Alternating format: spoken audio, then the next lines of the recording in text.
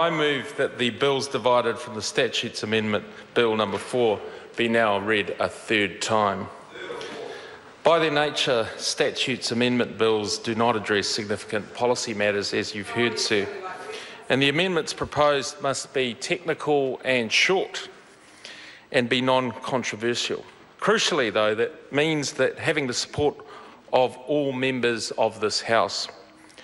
However, Sir, statute amendment bills are an important part of the government's legislative program.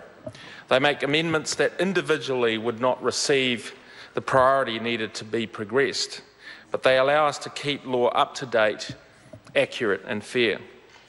As has already been stated this afternoon, sir, uh, the bill does amend 34 acts administered by eight different government agencies. And some of the objectives, uh, sir, achieved by the amendments in this bill include, firstly, clarifying uh, the requests for official information that may be communicated in any form. Secondly, it gives Auckland Transport the functions and powers of an enforcement authority in relation to prosecuting infringement offences for public transport fare evasion, putting Auckland Transport on the same footing as other regional councils.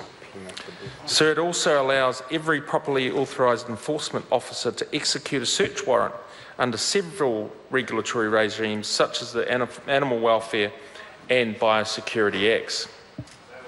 So it also extends protect the protection of Antarctic flora and fauna, thereby allowing New Zealand to fully implement its international obligations under the Protocol on the Environmental Protection of the Antarctic Treaty. So we also heard earlier today how the bill allows the Judicial Conduct Commissioner to refer a complaint to their deputy for investigation to allow for more efficient processing of those complaints.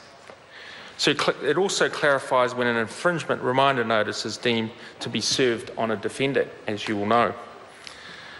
One of the other things this bill does, sir, is it allows the Ombudsman to refuse to formally investigate a complaint if preliminary inquiries show it is unnecessary to allow for more timely and efficient complaints resolution.